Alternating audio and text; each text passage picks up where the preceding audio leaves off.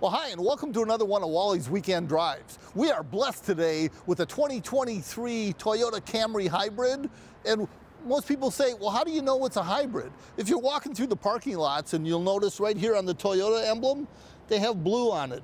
And a lot of the vehicles, whether the manufacturers are Toyota or not, always have something that indicates it's a hybrid on there. This particular hybrid, I'm really impressed with. The hybrid and the inline four cylinder, the 2.5 liter on this, is making just a little over 200 horsepower, backed up by a six speed transmission that gives you great mileage for sure. In fact, I'm gonna leak it out right here. I'm getting like 40 miles to the gallon with this thing. And this is a four door sedan seats five comfortably, family car, really back to basics. I really like this car for just a basic car. Now, this particular one is a nightshade, and nightshade, what that is, is they've blacked out everything here.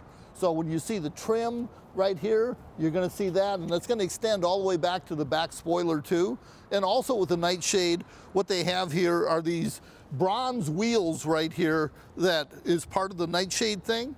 Um, don't know if I'm really a fan of those or not, to be honest with you, but you know what? It's part of the package and it comes with it. So along with all the black, you get bronze too. Now, if we go inside and take a look, like we said, this is your basic family car. So what you're gonna find inside there is all the creature comforts that Toyota offers, except you're not gonna have maybe the heated seats, the heated steering wheel, things like this, because this is the SE model and it doesn't come with all that. Also, there's no vents in the back, but that's fine. This thing, I mean, I love this car. I really can't say enough good about it. I've been driving it for a week. We've been over 500 miles on the same tank of fuel, and that, in my world, rocks. Now, what else are you gonna do if you're driving down the road? You're gonna be going somewhere.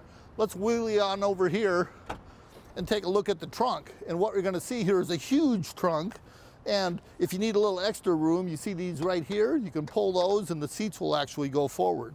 Now, one of the things that we talked about with Toyota in general in a good car comes with a spare tire. So when you lift up under here, you have your tools for your jack and everything, and then you lift up under that and you got your tire. So when you get a flat tire, or if you get a flat tire, you're not gonna be waiting on AAA to come down and do anything that you can do it yourself NASCAR style.